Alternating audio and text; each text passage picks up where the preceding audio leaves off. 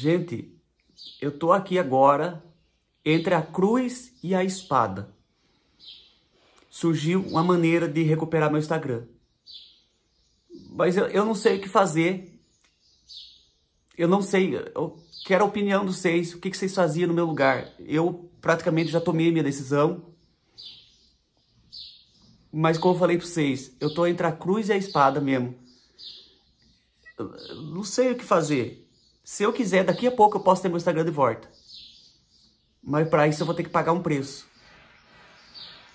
Então, eu vou contar para vocês o que está acontecendo certinho. Para vocês dar a opinião de vocês, pra vocês falar para mim o que, que vocês fariam. No domingo, eu estava tão nervoso, mas tão nervoso, que foi no domingo que eu pedi para vocês chacoalhar o telefone e denunciar, né? E eu falei assim, eu tava a ponto de chorar sozinho aqui em casa, falei, eu vou pro bar.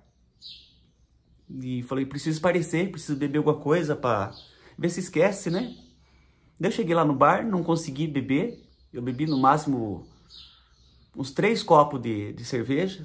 Não tava bem, sabe aquele dia que parece que não, não tá descendo? E eu tava lá vendo o movimento, prestando atenção nas pessoas. E nisso, o Éder mandou uma mensagem para mim, falando assim, Fubá, seu Instagram caiu. E eu fiquei pensando, caiu como assim? Ele falou assim, não aparece mais seu Instagram. E eu fui caçar, procurei, eu escrevo aqui no meu celular Fubá Online, não mostra mais. É como se nunca tivesse existido.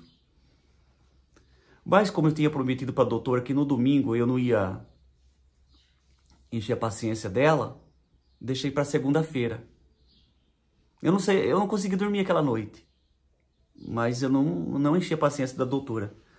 Daí na segunda-feira, quando eu acordei, tinha uma mensagem dela lá, falando para mim que o Instagram tinha caído. E eu perguntei para ela, doutora, foi por causa das denúncias das pessoas ou foi a justiça? Ela falou assim, não sei, não tem como nós saber. Talvez seja os dois. E naquele momento eu fiquei mais tranquilo. Eu falei para ela, doutora, agora eu tô calmo.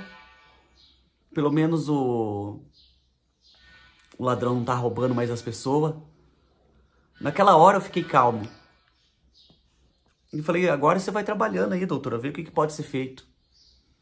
Então, a doutora tá tendo ajuda da justiça, a juíza fala com ela quando ela precisa, todo mundo que a doutora tá solicitando falar, eu não sei, essas pessoas de, de justiça, tá todo mundo ajudando a doutora.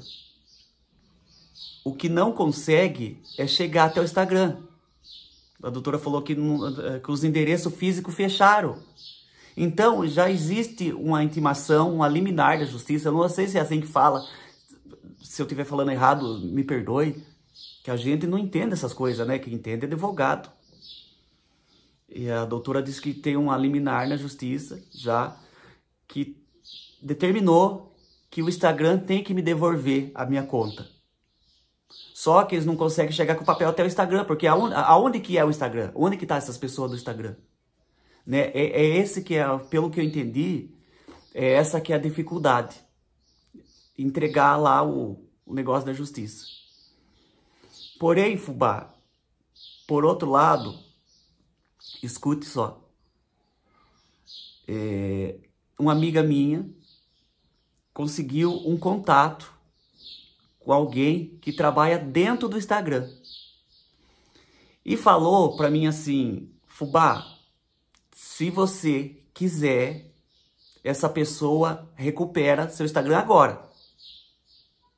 É só você mandar um e-mail novo e mandar um e-mail antigo, que eles trocam, te passa e você troca de senha. A partir de agora, se você quiser, você vai ter seu, seu Instagram. Eu fiquei louco de feliz. E daí passei para a doutora isso. Falei, ó, oh, doutora, o que está acontecendo aqui? Que eu não ia fazer nada sem ela saber. Daí ela falou assim, Fubá, agora já existe um liminar da justiça. A gente não pode mais ir por outros meios, porque nós vamos estar tá atravessando a justiça. E isso é errado, é crime. Daí eu falei, meu Deus, doutora do céu. Ela tentou explicar tudo aqueles negócios, né? E eu preciso acreditar na doutora, que ela está trabalhando comigo.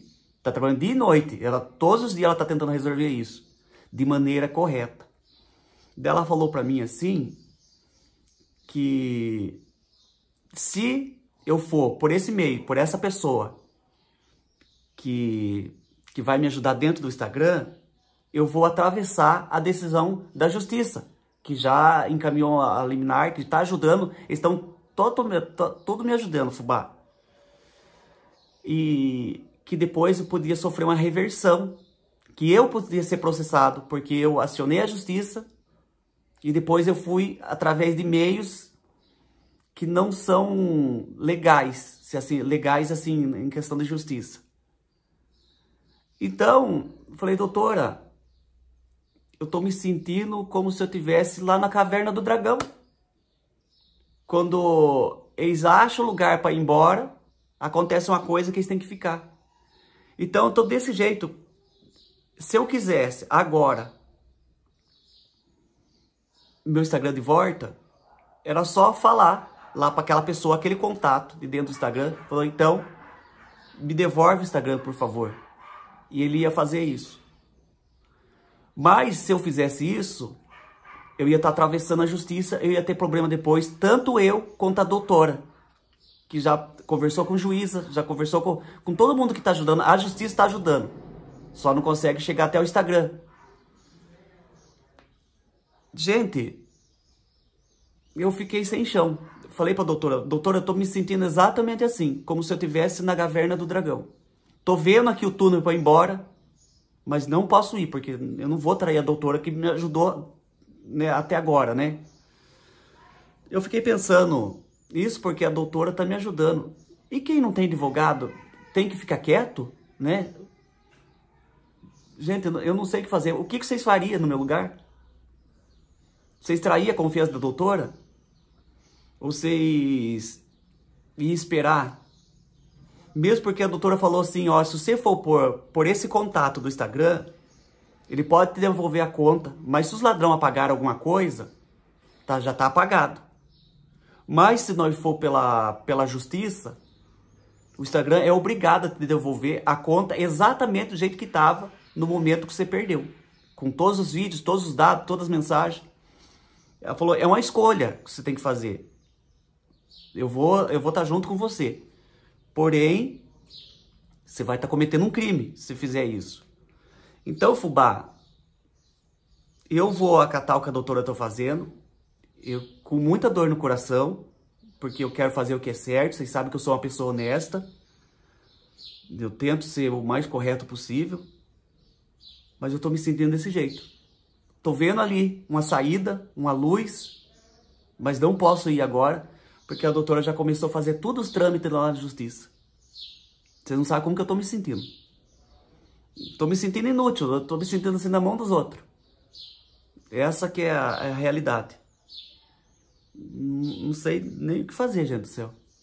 Então, eu tô contando para vocês só para vocês ficarem por dentro de tudo que tá acontecendo. Eu, para mim, tudo isso aconteceu por causa da TIM. Se eu pudesse agora, eu ia lá no Instagram da TIM. Se eu pudesse, eu não tenho Instagram, dá vontade de lá, escrever lá. TIM, devolva meu número de telefone. Pelo menos isso. Que agora, essa altura do campeonato, nem adianta mais ter o telefone, que o Instagram tá sumiu. Eu não sei o que falar. O, o problema agora é que a gente não consegue chegar até o Instagram. Não tem um lugar. Diz que a justiça até tem um lugar, mas eles vão tentar chegar até o Instagram e essa que é a dificuldade. O que, que vocês faziam, gente, no meu lugar? Bom, eu vou mantendo vocês informados. Desculpa estar tá fazendo esses vídeos aqui, mas é, é, que eu só tenho seis para estar tá desabafando. Tá certo, tem algumas pessoas que não entendem, tá achando que é frescura, tá achando que, que é muita lamúria, muita reclamação. Mas obrigado pelas pessoas que me entendem, viu? Eu leio as mensagens dos seis, parece que eu me sinto mais, como que eu posso dizer, acolhido. Então um beijo para vocês. A hora que tiver mais notícia, eu venho aqui e conto para vocês. Por enquanto não tem Instagram, gente. Depois que eu gravei esse vídeo aqui, gente, a ouvidoria da TIM ligou para mim. Daí falaram para mim assim, que foi solicitado a troca do meu número para outra pessoa no dia 11 do 9, às 17h37. E eu perguntei, mas aonde que é essa loja? Da moça falou assim, é só com ordem judicial pra gente poder falar. Eu falei assim, mas moça, eu não fiz isso. Ela falou assim, olha, aqui consta que foi feito sim, com documentação e tudo. Eu, eu, e numa loja da TIM, eu falei assim, moça, mas a loja da TIM, mais perto da minha cidade, fica a mais de duas horas de viagem. Não foi eu que fiz, alguém fez no meu lugar. Ela disse assim, a TIM jamais permitiria isso. Mais alguma coisa, senhor? Falou desse jeito. Na hora eu falei assim, ah, não vou discutir, não adianta. O que, que eu vou ter que fazer é processar mesmo.